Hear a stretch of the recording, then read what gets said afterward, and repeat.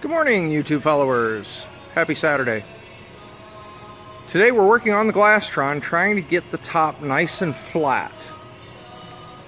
We don't want a wagon train. We like them flat. So I use all the straps and the straight pins. A lot of people use strapping tape, but I'd go through so much of it. Here we use the just the regular webbing and straight pins.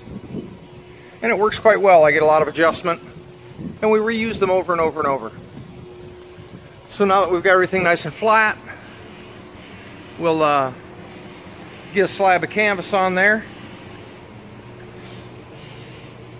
and make the rear bimini first and then we'll make the front bimini.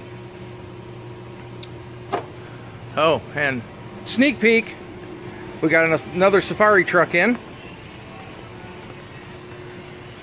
That'll be a fun project to follow along. And it looks like Jorge is working on his cover.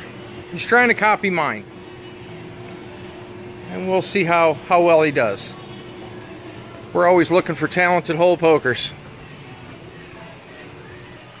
Inquire within. Thanks for following.